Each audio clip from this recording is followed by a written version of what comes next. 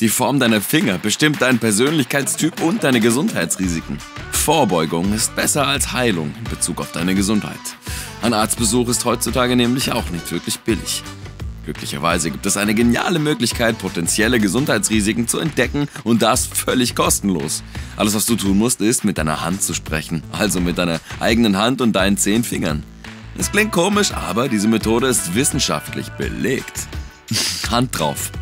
Bevor du deine Finger jetzt unter die Lupe nimmst, vergiss nicht auf Abonnieren zu klicken und auch die kleine Glocke zu läuten, denn so kommst du mit uns auf die Sonnenseite des Lebens. Nummer 7. Ringfinger versus Zeigefinger. Dr. Kelly Wesselman, eine Rheumatologin aus Georgia, sagt, man kann viel lernen, wenn man sich seine Hände ansieht. Alles klar, dann fangen wir mal mit den Grundlagen an. Vergleich die Länge deines Ringfingers mit deinem Zeigefinger. Laut einer 15-jährigen Studie, die von der Universität von Warwick und dem Institute of Cancer Research durchgeführt wurde, haben Männer, deren Zeigefinger länger ist als der Ringfinger, ein um 33% geringeres Risiko an Prostatakrebs zu erkranken. Ein Team chinesischer Forscher fand allerdings heraus, dass Männer mit dieser Eigenschaft anfällig für eine koronare Arterienerkrankung sind. Frauen mit einem kürzeren Zeigefinger haben eine doppelt so hohe Wahrscheinlichkeit für Arthrose in den Knien. Das fanden Untersuchungen der University of Nottingham heraus. Sowohl bei Männern als auch bei Frauen zeigt ein kürzerer Zeigefinger eine höhere verbale und körperliche Aggression an. Aber auf der anderen Seite haben diese Menschen ein besseres Orientierungsvermögen und hervorragende athletische Fähigkeiten. Darüber hinaus fanden Forscher der University of Cambridge heraus, dass Männer mit einem kürzeren Zeigefinger in der Lage sind, gut Geld zu verdienen. Nummer 6. Fingernagel. Schau dir deine Finger an, genauer gesagt die Nägel. Wie ist die Form? Gleich die Form einer Mandel? Diese Form wird von vielen als die schönste Nagelform angesehen und es das heißt, dass du raffiniert und sanft bist und voller Kreativität steckst. Ein kurzer Nagel bedeutet, dass du ungeduldig bist, aber schnell denken kannst. Diese Eigenschaften gelten auch für diejenigen, die lange und breite Nägel besitzen. Wenn du lange und schmale Nägel hast, bist du vielleicht etwas egoistisch und engstirnig. Du kannst aber auch sanftmütig und romantisch sein. Manchmal bist du ein bisschen hitzköpfig, wenn du kurze und breite Nägel hast. Fächerförmige Fingernägel deuten darauf hin, dass du relativ leicht nervös wirst. Du hast Glück, wenn die Form deines Nagels breit und quadratisch ist, weil es bedeutet, dass du ausgeglichen, aufrecht, ehrlich, geduldig und unkompliziert bist. Dein Nagel spiegelt auch deine Gesundheit wider. Die Mayo Klinik berichtet von schweren Fingernagelproblemen wie Nagelgrübchen. Depressionen in den Nägeln sind ein Zeichen für eine Vielzahl von Krankheiten wie Schuppenflechte, reaktive Arthritis und kreisrunder Haarausfall. Trommelschlägerfinger, auch Kolbenfinger genannt, abgerundete und vergrößerte Nägel, wird mit Lebererkrankungen, Herzerkrankungen, entzündlichen Darmerkrankungen und Lungenproblemen verbunden. Löffelnägel sehen aus, als wären sie ausgehöhlt worden und man kann tatsächlich einen Tropfen Wasser in ihnen halten. Dies ist ein Zeichen für Eisenmangel, Eisenspeicherkrankheit, Schilddrüsenunterfunktion und Herzerkrankungen. Terrys Nagel, auch als Milchglasnägel bezeichnet, ist ein gesundheitliches Problem, bei dem die Spitze des Nagels ein schmales rosa Band aufweist. Das ist manchmal aber nur ein Zeichen des Alterns. Es ist auch ein Symptom von Herzinsuffizienz, Nierenversagen, Lebererkrankung und Diabetes. Querfurchen sind Vertiefungen quer über dem Nagel. Das deutet darauf hin, dass eine Person Scharlach, Masern, Mumps, eine Lungenentzündung, Diabetes oder einen Zinkmangel haben kann. Die Nageltrennung, weniger bekannt als Onycholyse, ist ein ernsthaftes Gesundheitsproblem, bei dem sich der Nagel leicht vom Nagelbett löst. Der leicht lose Nagel wird undurchsichtig und hat einen gelben, weißen oder grünen Farbton. Das steht in Verbindung mit einer Schilddrüsenerkrankung, Schuppenflechte, Verletzungen oder Infektion und einer negativen Reaktion auf ein Medikament. Das gelbe Nagelsyndrom ist ein Zeichen für eine chronische Bronchitis und Schwellungen der Hände. Es gibt noch ein anderes Nagelproblem, das nicht auf der Liste der Mayo Klinik steht. Es heißt Halb- und Halbnagel. Ein Zustand, bei dem die obere Hälfte bräunlich und die untere Hälfte weiß ist. Laut einer Studie, die Dr. Wente Huang vom Zhuoing Armed Forces General Hospital und Dr. Chia Chao Wu vom National Defense Medical Center durchgeführt wurde, ist dies ein Indikator für eine chronische Nierenerkrankung. Wenn du eine dunkle Linie auf deinem Nagelbett siehst, kann es ein Zeichen für einen gefährlichen Hautkrebs namens Melanom sein, verrät die New Yorker Dermatologin Dr. Deborah Jellyman. Nummer 5. Fingerformen. In dem Buch der chinesischen medizinischen Handlesekunst geht es um deine Gesundheit, die in deiner Hand liegt und es werden fünf Arten von Fingerformen erwähnt. Schau dir deine Finger genau an. Ähneln sie einem Quadrat, Kegel, Löffel oder Trommelstock? Oder sind sie dünn und lang? Die folgenden Gesundheitsrisiken werden mit diesen Formen verbunden. Quadratische Finger haben eine stumpfe Fingerspitze und können auf die Möglichkeit von Gallensteinen oder Nervenschwäche hinweisen.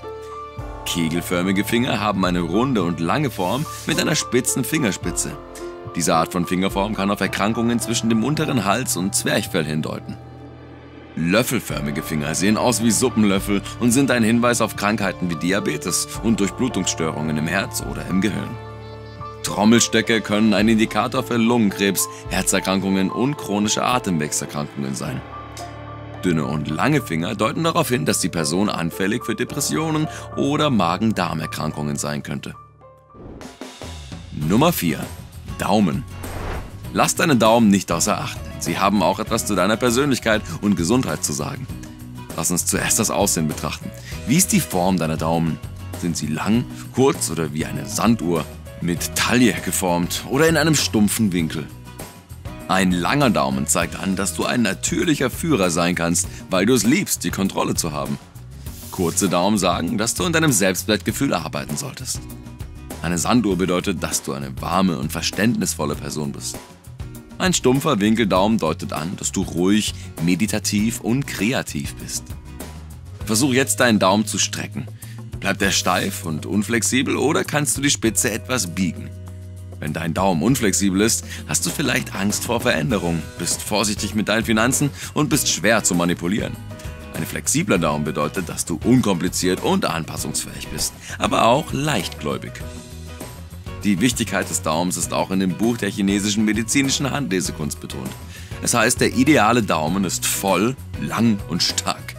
Das ist ein Zeichen für eine gute Gesundheit. Eine Person mit einem kurzen Daumen kann nämlich anfällig für Kopfschmerzen, Bluthochdruck und Herzerkrankungen sein.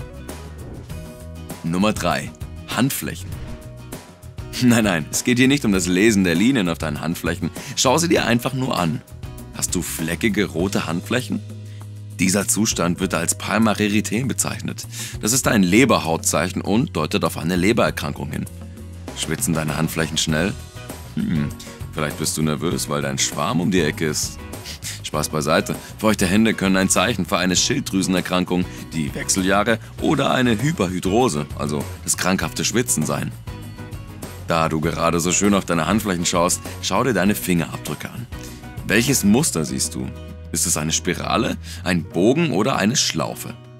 Basierend auf einer Studie der MRC Environmental Epidemiology Unit an der University of Southampton zeigt ein Fingerabdruck mit Spiral- oder Wirbelmuster einen hohen Blutdruck an.